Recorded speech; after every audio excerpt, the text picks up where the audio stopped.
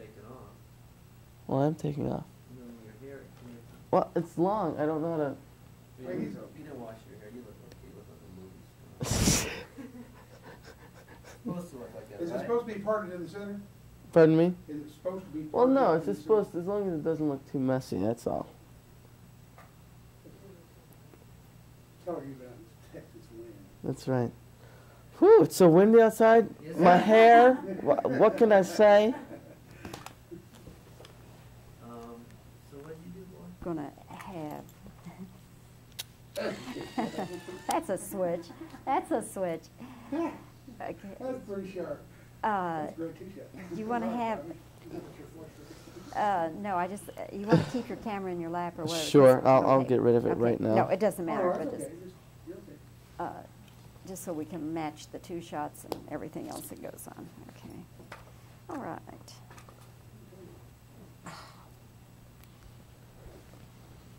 Tell me when you're rolling. I'm rolling too. Oh, all right. I- I ran Oh, right to the okay. flash, so I think that's- Oh, all right, yeah, I, I shall then. Where do you call home? Uh, I mean, p- uh, probably LA now, but where? where Well, did you grow- Chicago uh, is where I was brought up, and I started off in the suburbs of Chicago, and then moved into the city just before high school, Yeah. uh, where I attended an all-boy Catholic high school, 2,600 guys, all packed into this little box of a school. Well, Jason, as I sat there watching the movie, I, I just uh, was trying to become a kid again and thinking, all right, I'm a kid, you know, I'm 12, 13, 14. And uh, trying to look at it from that point of view and thinking, that guy's got to be having the most terrific time. Well- so I, I want to ask you, uh, you know, uh, did you have the most terrific time? Yeah, beyond what even you interpreted. Uh, it, it's beyond any experience I've ever had in my entire life. Not only the filming of it, not only working with a great actor in Lou Gossett, and another great actor in David Suchet, a great director, Sidney Furie, but also in the whole experience of, of seeing different cities, work, uh, working in Israel uh, part of the time, uh, seeing different cultures, uh, all these different things added to the experience. And when you see it all put together, it that even it adds to you know the nervousness you have, and and you know you get the the butterflies on the stomach, and then when it's all together, it, it brings it all back, and so it all comes to like a head, and there you are. Next thing you know, it everyone loves the film, and like you said, you had a great time with it, which is its sole purpose. It was solely made for you to go back and feel like a kid again, or, or to feel like you've been on this adventure, you've been through these flights. And um, so, to answer your questions, it was the best experience of my entire life. Did you get to do some flying? I went up in a trainer plane, um, a, a trainer F-16 jet. It's not exactly an F-16, but um, it still it still carries G forces, which is something that I really wanted to experience. So when we did do this the studio work with the uh, rear projection is what they call it. Excuse me. Um, I could I could have an understanding of, of how the G forces pull you and how it affects your face. So would it affect your speaking? Would it, you know, affect body language? Does it make you stiff? Uh, would you be able to lift your head off off the back of the seat? Um, all these things are things that I wanted to more or less um, compute up here, so I can have that readily available. Um, I flew in a Cessna, which which I got to learn how to fly, which was a great experience. you Um, actually controlled it? Yes, when when not not through the entire snake sequences, uh, but when I went up, Art Scholl, who did a phenomenal job on the show, uh, basically taught me in a day how to fly a Cessna.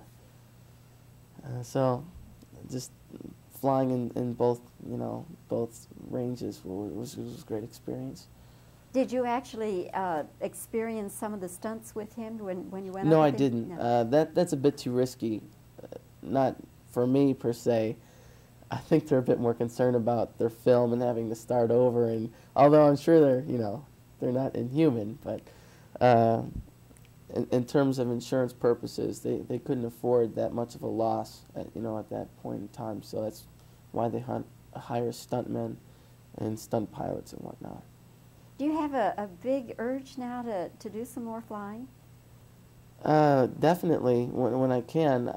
I certainly don't think I could put in hours to get, you know, an official pilot's license, only because my time is so taken and absorbed with um, acting classes and voice classes and uh, just overall studies. I'm I'm putting myself through my own researches and uh, I'm writing a little bit. I'm investigating perhaps in, in piano. I, I'll see how that goes. But I have so much so many different activities right now that I really wouldn't be able to drive, you know, two hours away where the, the you know, most accessible airport would be and fly, you know, around with a certain pilot and, and get and accrue my hours, so to speak, pilot's hours. But when I have the opportunity, I would love to. It's, it's a definite thrill for me. Um, were there lots of young actors considered for the role that you play? As I understand, um, it was something like over 250 other actors, and they've seen many, many other people, uh, and they weren't even sure about me at, at first. I went through six auditions, um, three, the last three of which were tapings, and um, it's a very strange feeling when you know you're being somewhat put on the spot for that third time and that fourth time, and trying to figure out what they liked and what they didn't like. If they have you back there, they like you for a reason, but they have you back there, they also didn't like something or they, they missed something. Otherwise, they could would have been able to make their decision yes or no. So sorting that out puts a little bit of pressure, or did put pressure on me as an actor, to find out which things were best and which things you know were were things I should leave out. And um, figuring it out, I would probably credit most of that to Ron Samuels, the producer of the film. Uh, he would basically fill me in kind of what the rest of the crew were thinking and what they were talking about. And um, it's like we almost had this, this little alliance behind everyone's backs about what was missing and what, what was there that I should maintain. Uh, and that ultimately led to me getting the role, which, as I said, for me is the ultimate in my life, which has been the ultimate experience of my life. Jason, one last question, and that is, um, for you, you're the the son. Uh, does the whole premise of the movie have a reality for you? In other words, can you envision yourself uh, having that sort of, of, of, desire to help your father if he were in a similar situation? Absolutely, but I wouldn't only, you know, relate that to my father. The experience of Doug Masters going from a position of being trapped by society or trapped by uh, another government, and it's through his father. I felt trapped in my own way, um, not feeling like I could be an actor, not feeling like I could really do it, and having a certain determination to get myself out to California, totally against many friends and family's wishes, and just getting involved in acting classes and getting involved in wanting to do it and wanting to try and really go for it and having feeling like everything is against me in every which way. And then taking things in my own hands at that point, uh, ultimately getting a, a lead role in a, in a, feature film like The Iron Eagle, to me is almost a rescue mission of my of myself and, and my own person. Um, obviously, a film is, is surrealistic. Otherwise, you know, there's no sense in making it. Otherwise, it's everyday life.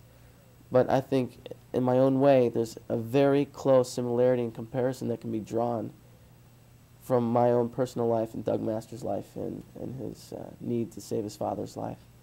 That's probably why you're so convincing in it. Well, thank you very much. That's great. Jason, hope I'll get to talk with you again sometime. Congratulations on a really thank fine you. performance. I should have known this picture was coming.